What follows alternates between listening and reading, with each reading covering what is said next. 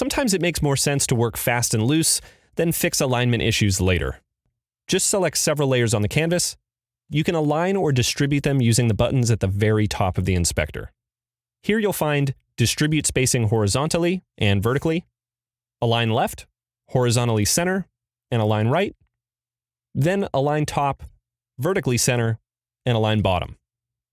You may have also noticed that hovering over each one previews the result on the canvas.